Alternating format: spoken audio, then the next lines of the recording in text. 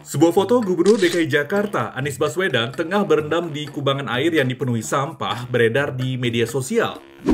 Akun Facebook Agus Giroberto membagikan foto tersebut pada 14 Oktober 2020. Benarkah Gubernur DKI Jakarta Anies Baswedan berendam di air penuh sampah? Dari hasil penelusuran kami, faktanya foto tersebut adalah hasil suntingan. Dilansir dari suara.com, Kepala Dinas Sumber Daya Air Juwaini Yusuf menyatakan, Foto itu adalah hasil rekayasa digital.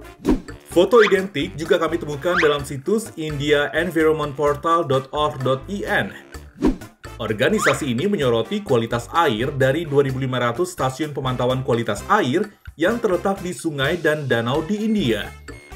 Kesimpulannya, klaim bahwa Gubernur DKI Jakarta Anies Baswedan berendam di air penuh sampah adalah salah. Faktanya, foto tersebut hasil suntingan.